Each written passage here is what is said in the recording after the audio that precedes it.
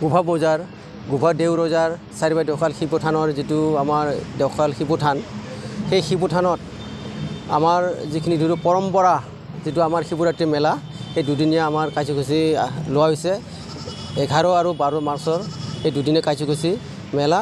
সেয়েহে আমি সকলো অসমবাসীক তথা সকলো ৰাইজক আমি অনুৰোধ কৰোঁ যে আমাৰ এই দুদিনীয়া মেলা সকলো অসমবাসীয়ে যাতে সহযোগ কৰে সেইখিনি মই কৈ থৈছোঁ আমাৰ এইটো পূজাত আমাৰ অস- অসমৰ বিভিন্ন প্ৰান্তৰ পৰা আহে আৰু আমাৰ বহুতো দেশৰ পৰা মানুহ আহে আমি দেখিবলৈ পাওঁ।